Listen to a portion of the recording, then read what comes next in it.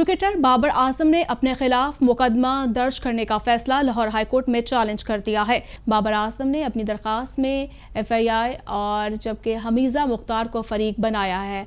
बाबर आज़म कौमी cricket team के कप्तान और बेहतरीन प्लेयर हैं। बाबर आज़म कई बैन अवी रिकॉर्ड अपने नाम कर चुके हैं। मुकदमा दर्ज करने से कबल हमारा मौकफ नहीं सुना गया है। दरख्वास्त गुजार मासूम है और हाईकोर्ट से इंसाफ मांग रहा है।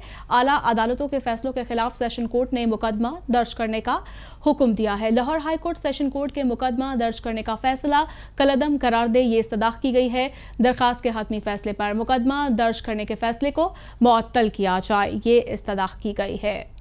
इसी पर मजीद बात कर लेते हैं ब्यूरो चीफ लाहौर शादाब रियाज से। जी, शादाब रियाज अपडेट कीजिएगा। क्रिकेटर बाबर आज़म ने जो है अपने खिलाफ मुकदमा दर्ज करने का फैसला लाहौर हाई कोर्ट में चैलेंज कर दिया है। बाबर आज़म ने अपनी दरखास्त में एफ़ आई ए और हमीजा मुख्तार को रफीक, फरीक बनाया है। बाबर आज़म कौमी क्रिकेट टीम के कप्तान और बेहतरीन प्लेयर है। मौके पर अपनाया गया दरखास्त में और दरखास्त में ये भी कहा गया है कि बाबर आज़म कई बैन अवी रिकॉर्ड अपने नाम कर चुके हैं।